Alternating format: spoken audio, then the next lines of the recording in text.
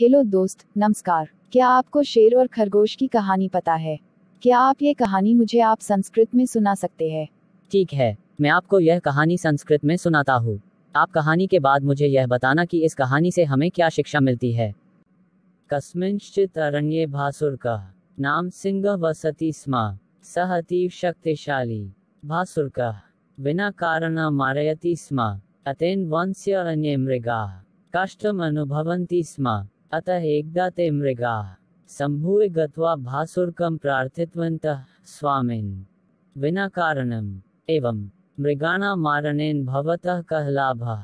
एकस्य एव मृगस्य खादनेन भवतः। उदपूर्ण भवति किल? अतः अद्य आरभ्य भवतः आहारार्थ प्रतिदिनम्। एकं मृग वयमेव प्रेषयिष्यामः। भवान् तं मृग खादतु न पीड्यतु इति। तदा भासुरकः उक्तवान् तथैवस्तु परन्तु यस्मिन् दिने मम समीप मृग न आगमिष्यति, तस्मिन् दिने सर्वान अपि मृगान् मारयिष्यामि एव इति मृगाः तत् अङ्गीकृतवन्तः। ततः आरभ्य प्रतिदिन